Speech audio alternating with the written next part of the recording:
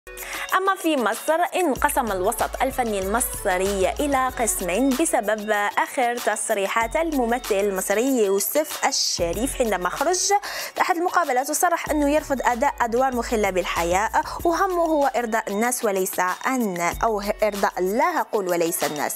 رغم ظهور الإعلام القليل إلى أنه استطاع إثارة الجدل من خلال مقابلة واحدة بين المتابعين والنجوم وشنت ضده حملة بدأت من الوسط الفني الفني أولهم المخرج مجدي أحمد علي عبر منشور عبر أو انتقدوا في منشور عبر الفيسبوك وأيضا محمد العد اللي وجه له رسالة مشفرة وغير مباشرة ليوسف الشريف في حين دافع عنه العديد من فنانين الوسط منهم أيتن عامر هنا زاهد ناهد السباعي ناجد هشام ناجد وزوجة وزوجة يوسف إنجي علاء.